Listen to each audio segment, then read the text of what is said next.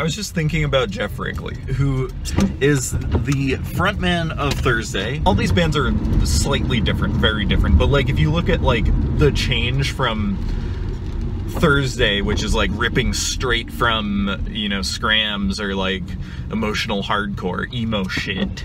And then you see like the evolution into something like Silverstein or like Underoath. I think Underoath is a really good like transition from Thursday into like what became metalcore or whatever genre you want to give it a name. I just love that, you know, the evolution of Geoff Rickly as a musician didn't mm-hmm. follow the legacy that, you know, his band Thursday left. United Nations is right along the passion of Thursday. Thursday has these components. You, have got Geoff Rickly's lyrics, which are some some of them are like very typical early 2000s, uh, late 90s, early 2000s, like emo. Also, it comes out of this place of experience that feels very hardcore. Like there's a very like punk vibe to Thursday that I I don't know if people would agree with me, especially like punks but there's a very like burning the American flag vibe. Do you can see it in like the growth and depth of, of Geoff Rickly's aspirations. Um,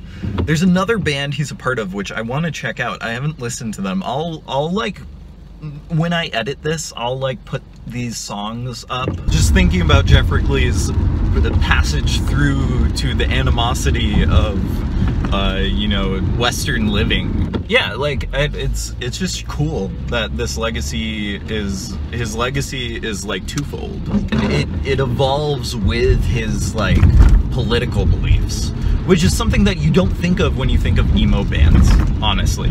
Like the closest thing an emo band does to being like hyper political at least like an early emo band they kick someone out of their band for doing something awful because that tends to happen with men. And then they write a big post about it on uh, facebook and is like sorry guys this is why we broke up talking about merchant ships which is a great band also. There's this level of exhaustion that you can feel in United Nations. And just thinking about Thursday and listening to Thursday, it was there all along, and I love that. I'm always happy when I find a kinship, like through my own political beliefs, my own growth as a human being with the artists that inspire me, the artists that I love. Um, it's exciting. It's it's inspiring. You know, it's like, oh, this is how I can keep going. Like I've got I've got this model of like a great person to follow. At least as far as I know. I need to learn more about Geoff Rickly.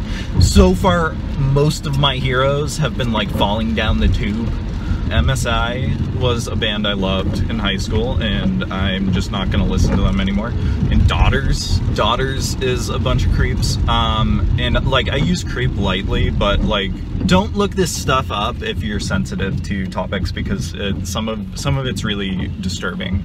But just like those two bands are things that were huge in my life. Like I was so inspired by them, and it feels really shitty when like you can't empathize with the artists that you have like looked up to for so long.